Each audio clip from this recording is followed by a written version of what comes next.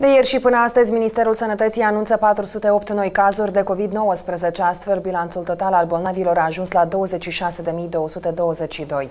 Din cazurile anunțate astăzi, cele mai multe infectări au fost înregistrate ca de obicei în municipiul Chișinău, după care urmează Anenii Noi, Căușeni și Soroca.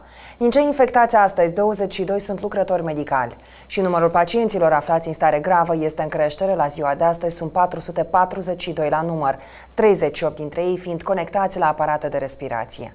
Virusul continuă să curme vieți. În ultimele 24 de ore s-au mai înregistrat 13 decese.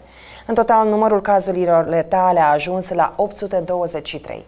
De cealaltă parte, numărul celor care înving boala este îmbucurător. Alte 251 de persoane s-au tratat și au fost externate. Bilanțul total al celor vindecați ajungând la 18.400.